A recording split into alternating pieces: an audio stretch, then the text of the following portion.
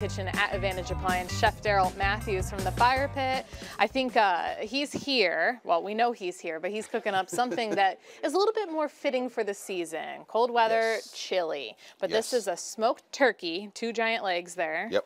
And it is a green chili, green white chili. I messed that yeah. up. I totally messed up. White that chili, up, but we got some green chilies that go in it, so Okay. it, it's all good. I'm good. Yeah. You'll find it on the menu.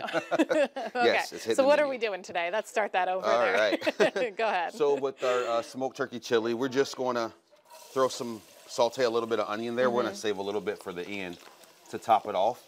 And I okay, oh, that's I'm gonna okay. drop some stuff there. That's okay. Green peppers. Yep, green jalapeno? peppers. Okay. Um, this looks a little intimidating with the ingredients, but it's a lot of spices. I'm seeing, Yes. so it's not too too bad. No, no, it's Yep. not too bad at all. Um, it's really easy actually, Mm-hmm. and it's one of those things that you can even do at home and just let sit while you're at work. Yeah. Gone for the day, just put everything in a crock pot, let it sit, and it's done when you get home. Mm-hmm. Yeah, that's the easiest part, and I know North Dakotans love when they can do that. So. We so yeah, we're just gonna saute some onions and green peppers. I put a little chicken base down in there and garlic. okay. So we got that cooking. I'm gonna take these two nice big turkey legs, Can't. Oh, just and we're just gonna put them right on in there. That's something I haven't seen before.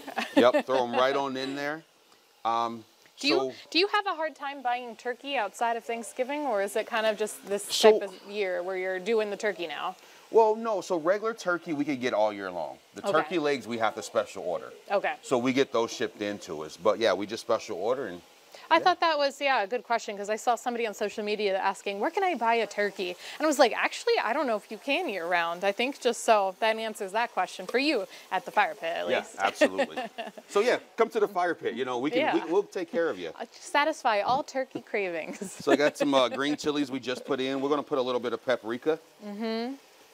Lots of flavor. Yes. And the beauty about this part, you know, this is uh, it could feed one person for a week or a family still for a week. I'll eat it for a week if you let me. Uh huh. I love when I can make a big batch of anything, and so and then you just eat it. You're, you're busy for like a Monday, and you can eat it all week. It's nice. Okay, what are we? I'm missing some onion, No, no garlic. worries. sorry, all the Um, spices. So a little bit of chili powder, some granulated onion, granulated garlic, some pepper, um, some salt. I'm gonna throw in there. And the the turkey legs are already seasoned as is. Yep, they're too. seasoned. They're Yep. smoked already. We So- smoke them right in house. Mm-hmm. So a little bit of cumin. Mm-hmm. That makes a flavor pop. That's sure. gonna pop. You're gonna definitely get some of that and some white pepper. White pepper. Oh, yep, cumin. You can never forget that flavor once you smell that. White pepper. White What- pepper. Do you mind if I smell Yeah, that go one? right ahead. Let's see. I Oh, actually okay. So just dab a pepper. li- couple of dabs of hot sauce in there. Can't go wrong with that. And I like how you're not really measuring. You're measuring from you the heart. Yeah, we, we, we don't spend time Yeah. measuring. This is just what we do.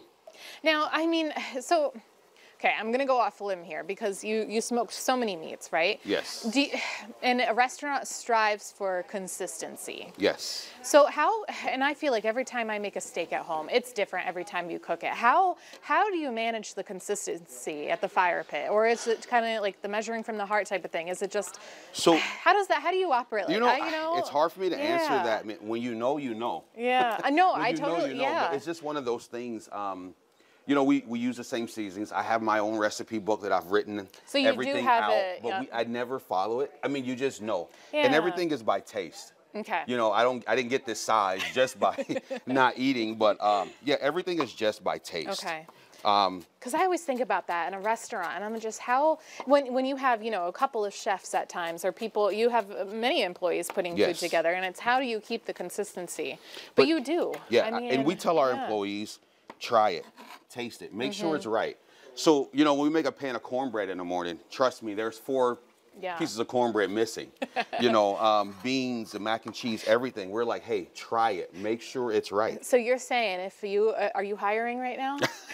so Taste- we're hiring taste testers every day. I was gonna say then you will never leave the fire pit hungry if you're employed there. absolutely, absolutely. okay, beans. That was one thing I noticed beans. here. Yes, okay. absolutely.